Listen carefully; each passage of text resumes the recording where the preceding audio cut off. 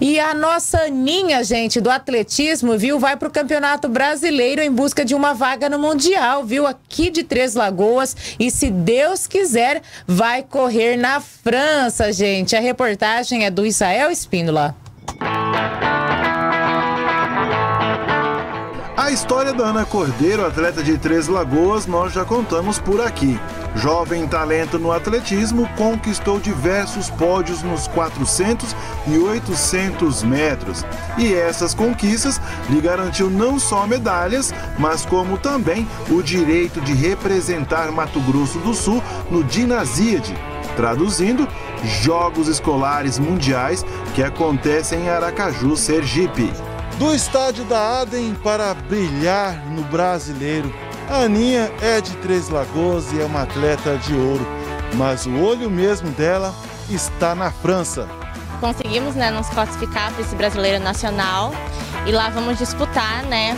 Para, se Deus quiser, para a gente competir o Mundial, que vai ser na França. E estamos treinando muito forte para isso, né? Porque realmente lá vai ser muito forte, só que estamos treinando muito e se dedicando bastante. Nessa prova do brasileiro você vai competir com a sua categoria mesmo? Sim, eu vou competir os 800. E as reais chances quais são? São altas, né? É por isso que o nosso trabalho aqui na ADEM tem dado uma intensificada maior, porque a gente tem que pensar grande. Aninha, agora na boa, entre a gente, já pensou? França? Se Deus quiser, tamo aí.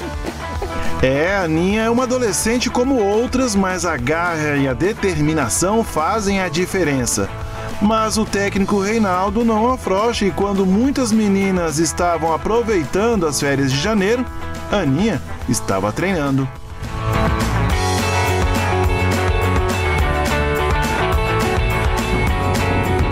Estamos treinando forte, né, que ela diz, já estamos pensando, graças a Deus, nós não interrompemos o trabalho nosso né, no, no, no em janeiro, né, nós praticamente paramos só no, nos 10 dias de férias, de, de, de, festa, mas já que voltamos no treinamento forte e ficamos sabendo também que a gente não estava no, no, nosso calendário, essa seletiva pela CBDE, né?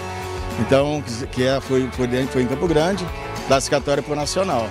Então agora, sem dúvida, ela vai estar competindo com menina de 18 anos lá, né? Um ano a mais do que ela, né? Mas o objetivo nosso é tentar melhorar a marca dela lá, entendeu? Para que ela possa, se Deus permitir, ela ficar bem classificada lá e, e tentar, lógico, sabendo toda a dificuldade que vai encontrar, a gente classificar ela para se Deus quiser, para o Mundial que vai ser na França no mês de maio.